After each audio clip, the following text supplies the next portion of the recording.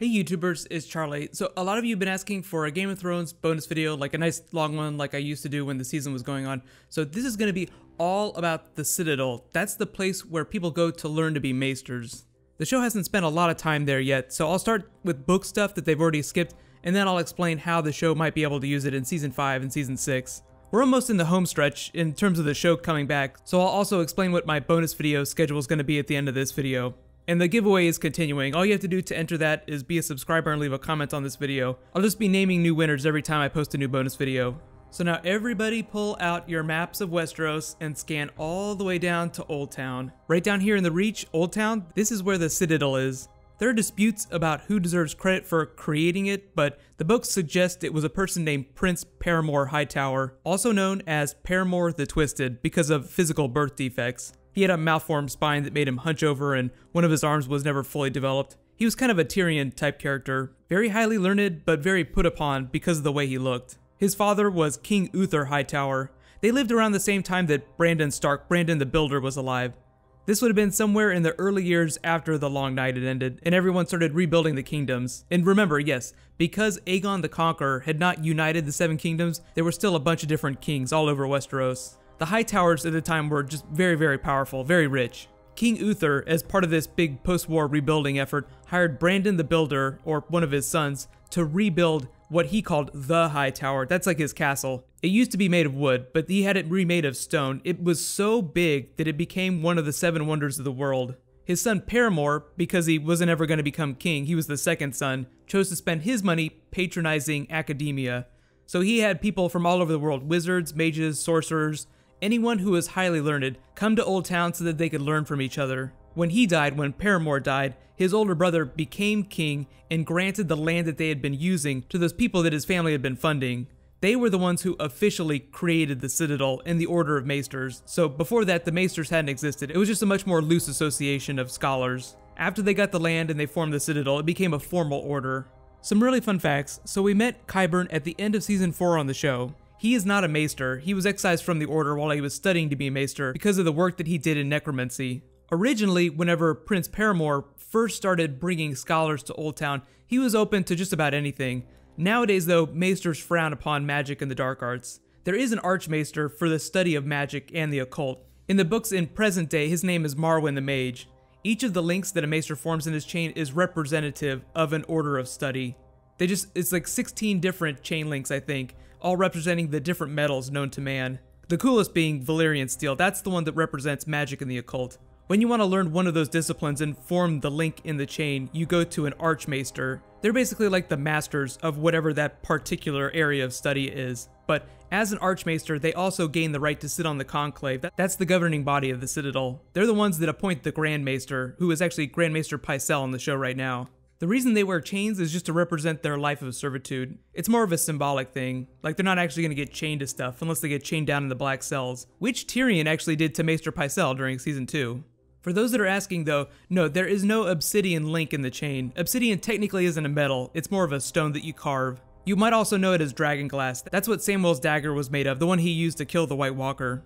Some of you may not know that Oberyn Martell, for instance, studied at the Citadel to become a maester for a while. He formed six links in his maester's chain before he got tired of it and quit and went on. He's an amazing man, but he has like a really short attention span. Although technically six links is not a short attention span, that takes a lot of work. Becoming a maester is kind of like taking the black though. You're entering a life of servitude, so if you're a noble, a member of a noble house, it's usually frowned upon.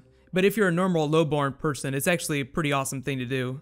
I feel like where we are in the books right now, like in present day before Winds of Winter, the Citadel is becoming a much bigger part of the story, but on the show they've almost completely avoided it. Because most of the characters are looking for knowledge about, you know, dragons, White Walkers, ancient magic, there are very few places they can go to get that. There are scrolls, like at the Night's Watch, Samwell, you see him trying to read scrolls, but usually they just fall apart whenever he touches them. So the Citadel is one of the only places that you can go to learn more about that. Marwyn the Mage, actually in present day, would be the person to talk to just because he's the Archmaester for magic and the occult. But since we haven't seen him on the show, it's entirely possible that they've completely cut him out.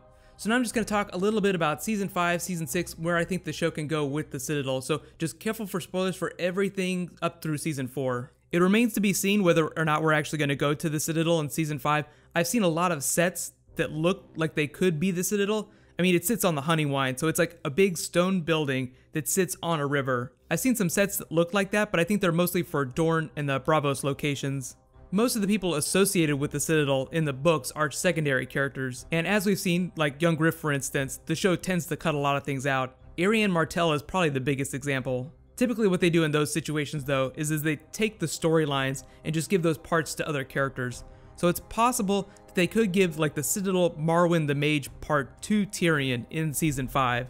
I'm really hoping they don't, but based on some of the behind the scenes images for endpoints, you know, like really spoilery stuff that I'm not going to post here just because it is super spoilery, I do think that we will see a very particular Samwell scene at the end of season 5. For those that have read the books, just use spoiler tags if you want to talk about it. It really gets you excited for Samwell's character though. I really am hoping they don't dramatically alter Samwell's story.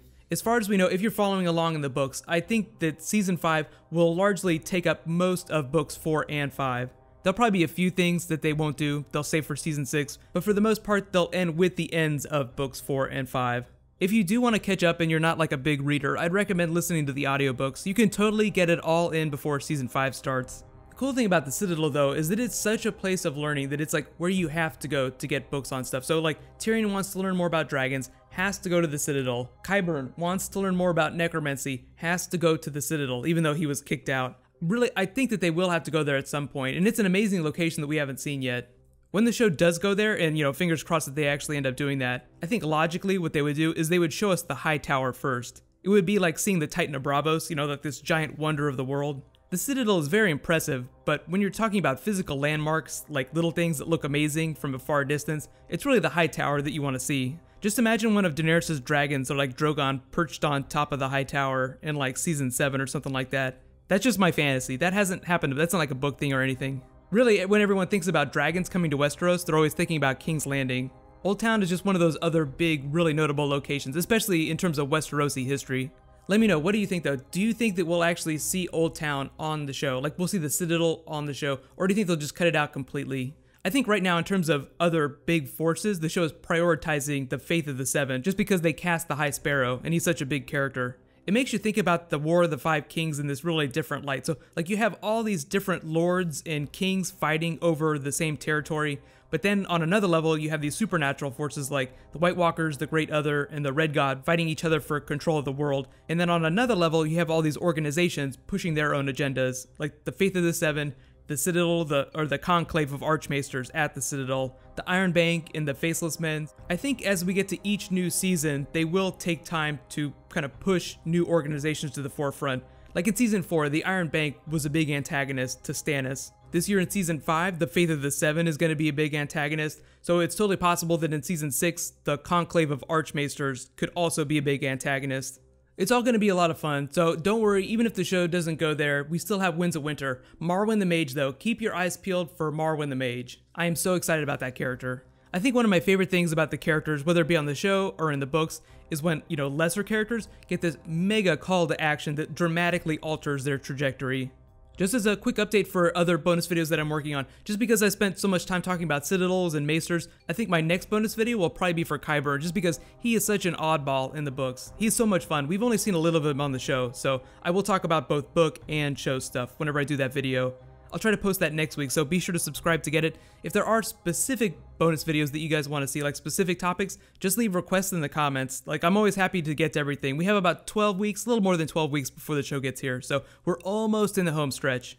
Congratulations to this week's giveaway winner, Layla Willow. You win a $20 Amazon gift card. Be sure to message me on my channel for details, just so I can get your contact info. Right now, if you're on your mobile phone or on a tablet, there's new mobile links you can click on up here. I think it's over here. It's the same as the links over here. But you can click here to learn about another big organization in Season 5, the Faceless Men in Braavos. And click here for all my other Season 5 bonus videos. Thank you so much for watching. So let's all high five. I will see you guys tonight.